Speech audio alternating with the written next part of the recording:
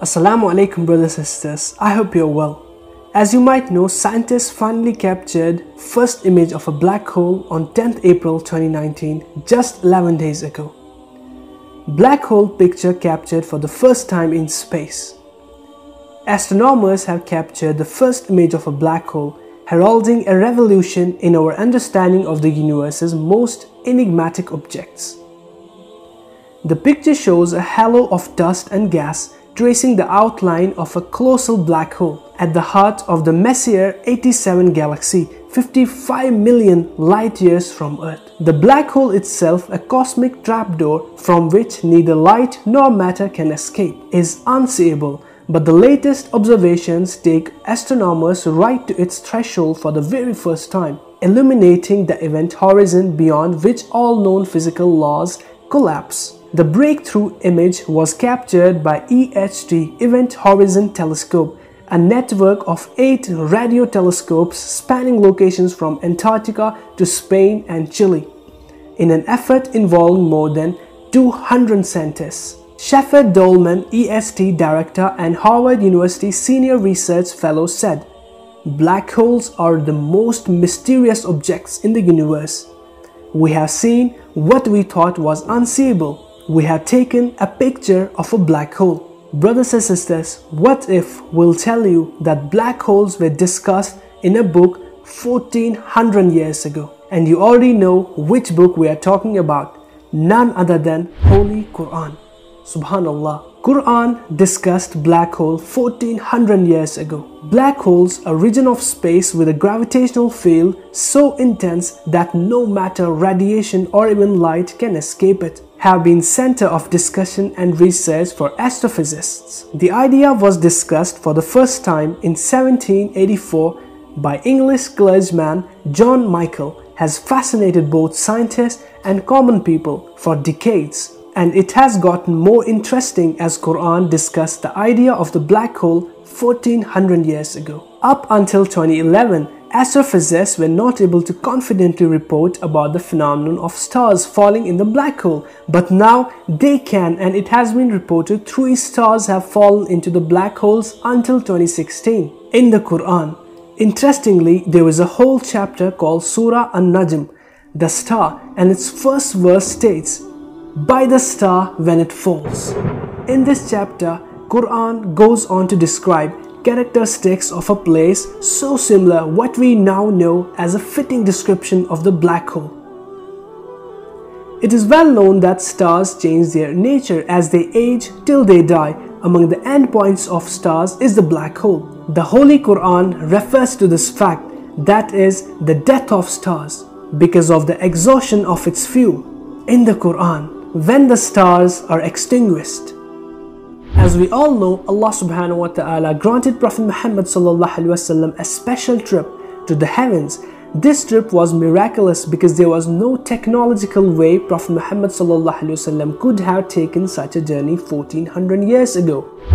Seeing as how planes hadn't even been invented, neither the rocket ships, but if you study this miraculous night journey closely, you will find that there are many clues to prove that this incredible journey did indeed occur. Because the description of the area the Prophet Muhammad ascended to match the characteristics of what we now know about the black hole. In the Quran, when there covered the low tree that which covered it.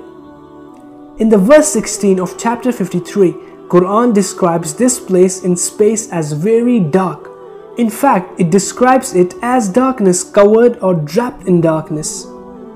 And as we all know, space is dark and black holes are darkest. But nothing is darker than a black hole because black holes have such immense forces of gravity, nothing, not even light, can escape from them. Quran says that ordinary people cannot look at this dark area in space they cannot see it directly as their eyes bypass or surpass the boundary of this area and you can only see beyond or around it. It's almost this area behave as a lens. Science as it turns out has a term for this which is the gravitational lens. Near a black hole, the powerful force of gravity bends and wraps rays of light around it, creating a visual imprint on the surrounding material. Astrophysicists have proved that black hole bends light to act like a cosmic magnifying glass, giving astronomers a view of an even more distant galaxy behind it. And this what we call gravitational lens. In the Quran, the sight of the Prophet did not swerve nor did it transgress its limit. And following verse Allah subhanahu wa ta'ala says, And he certainly saw some of the greatest signs of his Lord. This verse could be alluding to the fact that Prophet Muhammad visited the black hole and looked it directly. The Quran describes this area's shape wide at the top with a sloping sides and a narrow tube at the bottom, almost a funnel shaped in the Quran at the low tree of the utmost boundary. Low tree also means jujube tree. By the jujube tree, it is linked to the shape by a jujube tree which fits the same description as the one we just mentioned.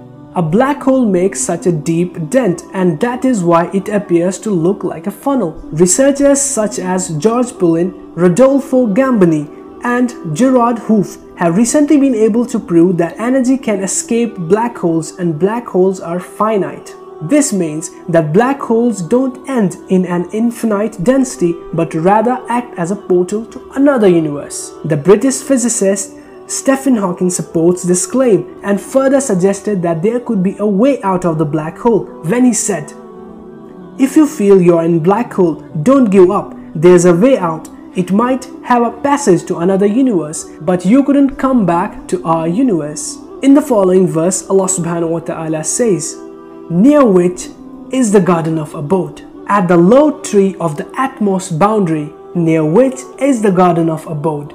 Subhanallah, Quran describes this mysterious area matches what we now call the black hole. However, the Quran takes one step further by asserting that it is in fact a portal to heaven, a claim which science has yet to prove. Now let's talk about pulsars. Pulsars are rotating neutron stars. Most of the neutron stars discovered today are in the form of radio pulsars. They are called radio pulsars because they emit radio waves we can simply connect a radio telescope to a loudspeaker and hear a pulsar. Pulsars sound like someone persistently knocking.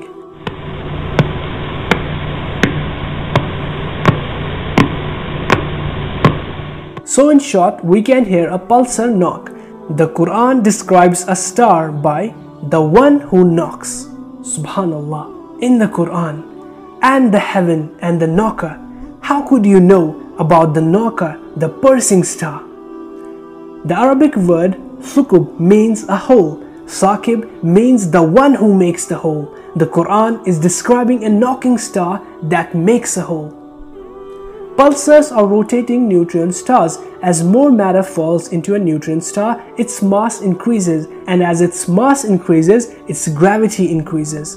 But gravity is actually curvature of space-time a neutron star distorts space-time. As more matter falls into a neutron star, its distortion increases. A point will be reached where distortion would have grown so much that it makes a hole in space-time. How could a man who lived 1400 years ago have known about black holes? So that's it for today guys. If you find this video helpful, make sure to hit the like button and share this video to your friends and family. Until next time, Assalamu alaikum.